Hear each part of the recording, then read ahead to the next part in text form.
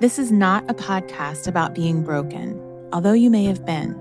This is a podcast about strength for women who find themselves in difficult relationships, including that sometimes difficult one with yourself.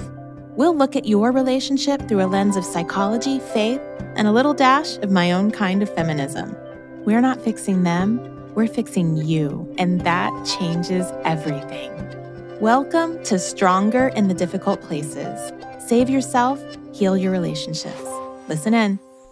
Hey there, welcome. I'm your host, Dr. Zoe, and I'm glad you're here. Today's topic is when a friendship needs to end. But first, my win and my fail, as I do every week.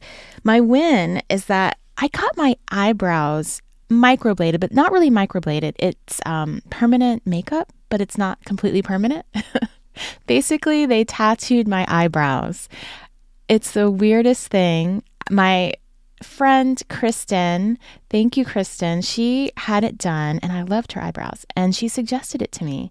And so it's actually taken me a couple of months to get into this woman, but we had we had an appointment scheduled for November and then she called me at the last minute and she said, I can get you in at one o'clock. Do you want to go? And so I did and I got my eyebrows done. So far I'm loving it. I do usually use eyebrow pencil on my eyebrows. And so waking up with my eyebrows already done is a very nice perk. It's a two appointment procedure. So I just went in yesterday, got the first part done, and then another six weeks, I'm going to go get it done again. It's going to last for a couple of years. Weird, but I think pretty cool. Right now, it's a win. And it feels a little vain to get your eyebrows tattooed on. But the reality is, I spend time, you know, most days putting makeup on, and now I don't have to do that. So that just saved like a few minutes from my day every day. So, my fail. Ooh, I am drowning in emails, texts, DMs, voicemails. My husband had surgery last week. He's doing great. But just taking that one day off I don't realize how close I am on the precipice of like falling over into overwhelm with my uh, communication. But just, you know, one day of not doing that, I'm so far behind. So it doesn't feel good, but I'm I'm just letting you guys know if you've DM'd me, texted me, emailed me. Number one, I love to hear from you. And number two, I'll be getting back to you very soon. But I am behind and it does feel like a fail, but I'm also giving myself grace. So, on to the topic. When a friendship needs to end. I had written this down as a topic to do for an episode months and months ago, and for some reason it just came back to me. And so I'm hoping that someone out there needs to hear this. I'm going to start this episode with a prayer from Arthur Cole Riley. It's a prayer for those who have outgrown a friend. Dear God, it's difficult to allow for evolution in our friendships. I confess that I cling to others out of an insecurity of fear or familiarity, and I become resistant to imagining a future where I am not as close to someone as I once was. Please remind me that not all relationships need to persevere. Reveal to me the beauty in friends that are only near me for a season, and help me to release any guilt that tells me otherwise. Sometimes I'm clinging to someone who I've outgrown, not because of time, but because of pain the wounds that they've made in me and I in them. Liberate me from the bonds which alienate me from myself. Help me to discern when a friendship should be fought for and when I should acknowledge the distinct paths our selfhoods are on and allow for a sacred release. Amen. By Cole Arthur Riley. You might be in this space now of wondering or knowing that a friendship needs to end, and it's a it's a painful place. I've been in this painful space in my life. I've had friends who I have loved dearly, but I either knew in the deepest part of my core that they were not good for me, or I could see that our lives were diverging in a way that would not hold the friendship together. My very first experience in letting go of a friend was when I was nine years old. Her name was Amy and she was everything that I was not. She was gregarious, rebellious, fun. She tempted me to do all kinds of nine year old bad things, like disobey teachers, start food fights. And I loved how I felt when I was with her, but then I hated how I felt afterwards. Even at that young age, I recognized that Amy wasn't good for me. I remember praying that God would help me get Amy out of my life because she was just so tempting and fun. And the crazy thing is, he answered my prayer. I came to school one day and Amy was gone. I found out that she had been kicked out for bad behavior, and I went to a private school so they could do that. And I often think back to that as the day that God proved himself to me. I know it sounds crazy, but when I start to wonder and doubt God, I always remember that he got rid of Amy for me. And no one can convince me that that was a coincidence. I know he answered my prayer. But I've also learned that in my adulthood that we can't fix everything by praying it away, can we? Why? Not because God isn't an amazing God, but because, well, a number of reasons that I will never understand as long as I am human and thinking with my human mind, but also because I know that then we don't grow. When our children are little, when my children were little, they would look at me and say, I want. And I gave it to them for a number of reasons because they couldn't do it for themselves and because it taught them to trust me. But when my nine year old looks at me now and she says, I want, my answer is sometimes great, go get it for yourself. I know that, you know, she needs to struggle through that in order to grow. Sometimes I'll tell her, God gave you two hands and two working feet.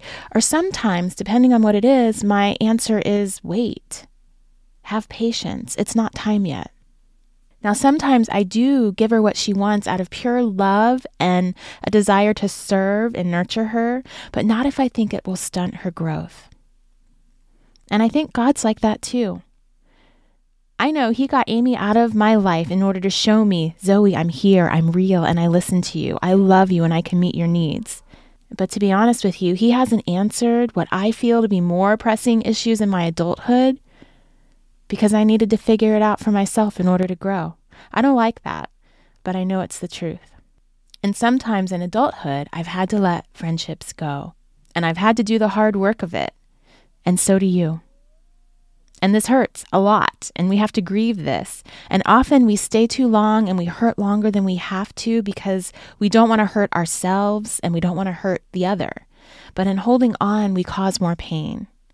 If this speaks to you, if there's a friendship, a business relationship, a romantic relationship that you know is not feeding your soul, or even worse, is sucking the health from it, then this episode is for you. I'm not magically going to fix this for you, although I wish I could, kind of, but I know you need to. But I will speak to you hoping that my words resonate with you and help to move you towards the change that you know you need to make. Change is scary, y'all, and that's one of the main reasons why we don't do it. Because this current evil, whatever's going on in our life, is known and it's manageable. We can live with it. We know we can because we've been doing it. But when we allow ourselves to step out into the scary, then that's when we're actually living. When we allow fear to hold us captive and paralyzed and stuck, we're dying. So, first, let's talk about why. What are good reasons for ending a friendship? And I'm not going to spout off a ton of trite reasons or five steps to know you should end your friendship. I might have done that at some point before. Because you possess a deep knowing when something isn't working like it used to when the ease isn't there, when there's more friction internally for you or between the two of you, when you've just grown differently. So you know, but I am going to still give you two overarching reasons to end a friendship. The first is when the friendship is taking you away from your relationship with God. I had a close friend who I also love dearly, and I still do, but she's agnostic at best and she had a level of disdain for Christianity that seeped into our relationship. And please do not misconstrue what I'm saying. I have plenty of friends who are agnostics and atheists, even. I have friends of different religions Buddhism, Jewish, Sikh. I love to fellowship with others who think differently than I do and see the world differently than I do. I will break bread with you. I will stay at your home and invite you to mine. I will commune with you and learn from you. And teach you what I know if you're open. I will fight for your right to be who you are, even. But you won't be my ride or die. You won't be my sister, because that can sometimes lead me astray. At least I haven't had that as yet, and I don't like to ever say never, because life continues to change and I continue to grow. So I'll never say never. But the closest experience I've had to that, I loved her so much. And I noticed that it pulled me away from God and I had to distance from that. I actually had a follower on Instagram challenge me, and this is about the whole concept of, of, of being close to people who are different or understanding differences. But I had a follower on Instagram challenge me when I put up a book called Untamed by Glennon Doyle, which I haven't read yet. I intend to, it's still on my nightstand. But I do know that it contains her journey towards her relationship with her now wife. And this follower on Instagram DM'd me and she said, How could you read that book? And I don't remember the actual words, but the insinuation was that because I'm a Christian, I shouldn't read a book about someone who has now come out as a lesbian. And my answer was, How could I not? Was it okay to read Glennon Doyle's previous book, Love Warrior, where she was a doting wife dealing with her husband's infidelity and praying in the church? How could I not want to understand her experience now? Am I to put my head in the sand and say that others' experiences don't count or matter? How can I know what I know to be true if I don't know the other? And how can I say I love if I don't know what I'm loving? So I don't only stay in my bubble with people who are like me. That was a big divergence, but I always want to understand the other. I can't be an effective practitioner if I'm judging or if I do not understand or seek to understand the human experience. And the human experience is varied and it's nuanced. People become who they are because of a variety of internal and external experiences that matter. And I want to know about them and I want to honor them as well. But I also must protect my psyche by being very careful about who is in my inner circle. You know the saying that you become like the five people closest to you? I I believe that on one level, although I don't necessarily fully believe it, or I would be just like my 8, 15, 17, and 20 year olds. And I don't think that I am, but maybe they're like me. I don't know. I hope. but you get the point. And so sometimes Despite your love for a friend, if you notice that they are leading you away from God, it might be time to end the friendship. This is necessary self care and spiritual maintenance. The second reason when the friendship is taking you away from yourself. Now, this can happen in a number of ways. Maybe your life has changed and you don't have time for the friendship in the way that you used to. Although it's usually not about time and distance, because to be honest with you, I find that a true, rich friendship can withstand those constraints. I have them in my life and I'm thankful for them. And so it's probably that one or both of you has grown in a direction that's no longer serving the relationship. And friendships can't necessarily withstand this one. And it's not a bad thing, it's a life thing. When this happens, staying in a friendship that no longer fits becomes a constant drip, creating a slow erosion of the person that you want to be. Once again, you don't need to check a box because I identified the thing. You know. You know deep inside, you know. So, how do you do it? How do you let go of something that may have spanned years of your life, maybe a relationship that you thought would always stay the same. First, don't burn bridges. I am not a believer in cutting people off. I'm a believer in distancing in the healthiest way. There are some extreme cases, but cutting people out of your life should be the exception, a last resort, not the first, second, or third step. And to be honest with you, it's harder to take the route of distance, and it may require many conversations that wouldn't need to be had if you simply ended the friendship. But I don't think this is the mature way to handle ending relationships. If the other person needs space from you, though, by all means, honor that and give them that space. But you don't need to be the one initiating that. The cutoff, I mean. Instead, and this is the hard part, you need to have an honest conversation, acknowledging the differences in your relationship now compared to before. If you've changed, acknowledge that as well. Own it. Believe me, if you felt it, she has too on some level or another. And sometimes acknowledgement, just speaking the truth of what is between you, is the only thing that needs to happen. Then, as you distance, there isn't any wondering and things left unsaid. And I'm not sure that when you own it or acknowledge it that you have to quantify what type of relationship will now exist between the two of you. I don't think that's the answer. It's more about shifting and allowing your relationship to have a new normal.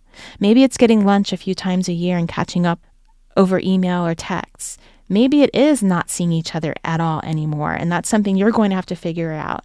Or maybe it's just, you know, seeing each other socially, running into each other at events. And my hope for you is that you can keep it real and not avoid her, but be open to the new status of your relationship.